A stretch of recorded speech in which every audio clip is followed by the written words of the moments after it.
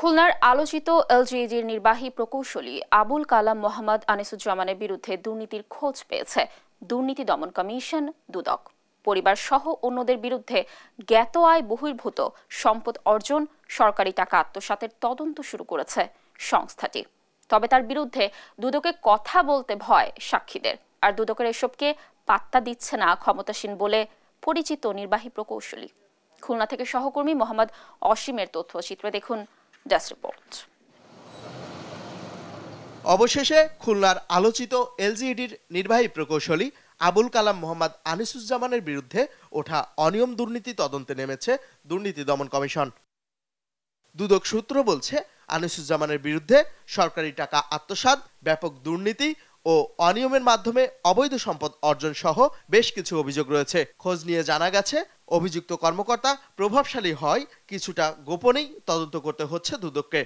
এমনকি দুদকের সাক্ষীরাও আনিসুজ্জামানের ভয়ে মুখ খুলতে চান না। আমার স্টেটমেন্ট চাই, আমার কাছে লিখিত। আমাকে লিখিত দিতে বলো তো, আমি তার বিরুদ্ধে কোনো সাক্ষী দেইনি। কারণ আমি ঠিকাদারি করি এই ডিপার্টমেন্টে সেই জেলার নির্বাহী প্রকৌশলী।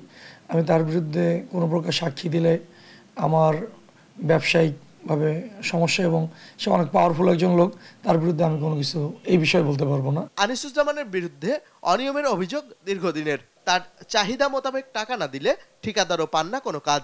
দুই সালে একটি কাজ পাই এলজিডি এসি ভবন।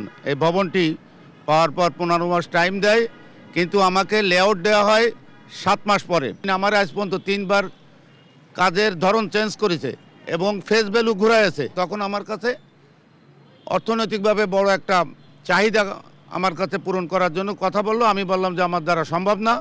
তখন উনি ইন্টেনশনালি আমার এই কাজটি বাতিল করে অভিযুক্ত কর্মকর্তা প্রভাবশালী হয় তদন্ত ও বিচার নিয়ে সংশয় প্রকাশ করেছেন নাগরিক নেতারা। যে একটা সঠিক তদন্ত হোক এবং সেই তদন্তে যদি সত্যি সত্যি যিনি অপরাধী প্রমাণিত হবেন তার বিরুদ্ধে আইনগত যে ব্যবস্থা সর্বোচ্চ আইনগত ব্যবস্থা এবং সেই আইনগত ব্যবস্থা নেওয়ার মধ্য দিয়ে একটা দৃষ্টান্ত স্থাপন করা যাতে করে ভবিষ্যতে যিনি আহ, প্রমাণিত হবেন এবং অন্যরাও যাতে এ ব্যাপারে অ্যালার্ট হয়ে যান যাতে এই জাতীয় দুর্নীতি আর না হয়। তবে এসব অভিযোগকে পাত্তা দিচ্ছেন না প্রকৌশলী আনিসুজ্জামান। এ বিষয়ে কথা বলতেও আগ্রহী নন তিনি। আমার বিরুদ্ধে যদি কেউ মিথ্যা অভিযোগ দিয়ে দুদকে কেউ সাবমিট করে দুদক ইনকোয়ারি করে দেখবে সত্যতা পেলে ব্যবস্থা নেবে দুদক। দুদক বলছে তদন্তেই বেরিয়ে আসবে প্রকৃত ঘটনা। Al Noman news desk Desh TV.